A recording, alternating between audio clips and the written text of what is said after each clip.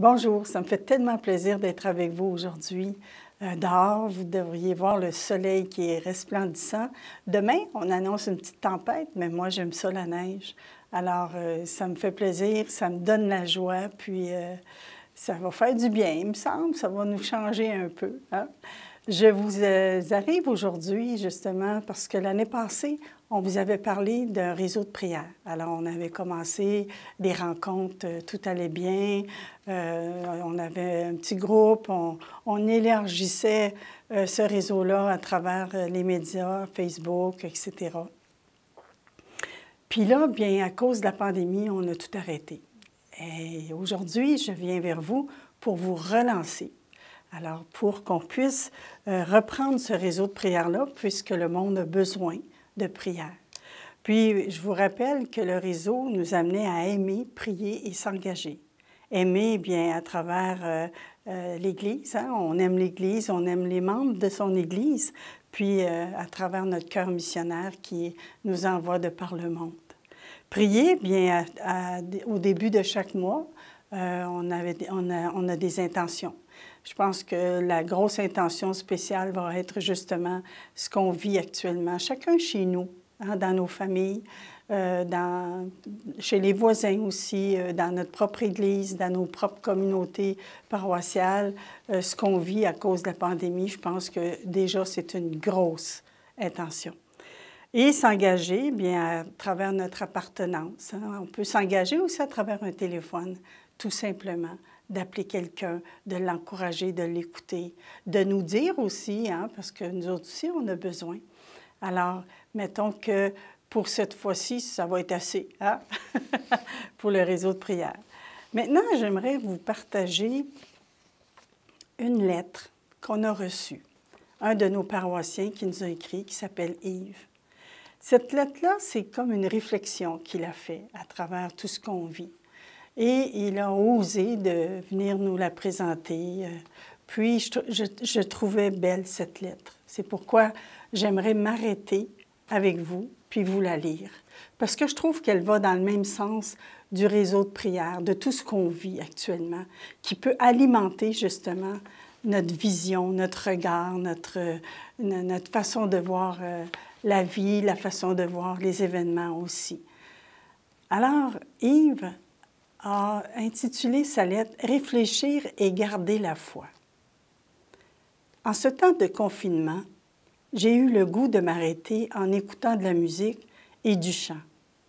Et à maintes reprises, la chanson m'amenait à me poser des questions.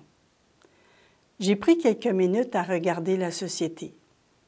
Je voyais des pères de famille et des mamans en difficulté, même en détresse, qui finissent parfois poser des actes de non-retour envers les enfants. J'ai aussi vu toutes les tueries dans le monde. On voit des groupes malveillants, des gouvernements qui parfois sont déconnectés de la vie, d'autres qui provoquent des guerres ou qui profitent de la société pour s'enrichir aux dépens des moins nantis. On pourrait énumérer tellement de situations.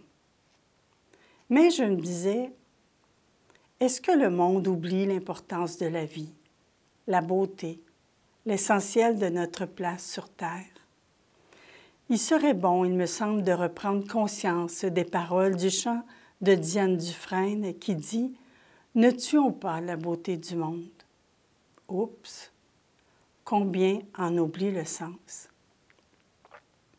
Une pandémie, pourquoi nous arrive-t-il une telle épreuve? Dans le passé, n'a-t-il pas eu de semblables crises? En 1720, il y a eu la peste. En 1820, le choléra. En 1920, la grippe espagnole. Maintenant, en 2020, vient le coronavirus. À chaque centenaire, les événements nous poussent à une prise de conscience qui nous retourne à la base de la beauté du monde. Et à chaque centenaire, les gens se sont repris en main. Certes, ont recommencé à prier, à croire. D'autres, par leur valeur humaine, ont entraîné au respect, ce respect qui est dans toutes les phases de la vie, celle de respecter la terre, de respecter l'humain, la création, ce qui nous vient de Dieu. Selon moi, en notre centenaire, nous devrions s'appuyer sur les vraies valeurs de la vie. Pour certains, ce serait sans doute de se remettre à l'effort. Pour d'autres, peut-être de pardonner, de recommencer à croire ou de prier, ou même de se prendre en main. Pour d'autres aussi, ce sera de regarder au fond de leur cœur la beauté du monde, qu'ils la partagent. Si je regarde Moïse, n'a-t-il pas fait traverser son peuple à travers le désert parce qu'il a cru en Dieu, alors que tous étaient en souffrance?